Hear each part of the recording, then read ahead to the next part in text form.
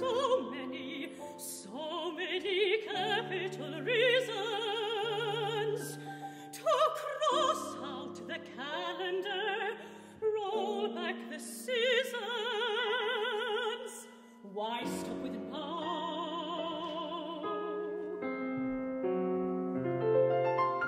Couldn't I unbake the breads, unweave the mittens, unfeed the cats who shrink back to kittens?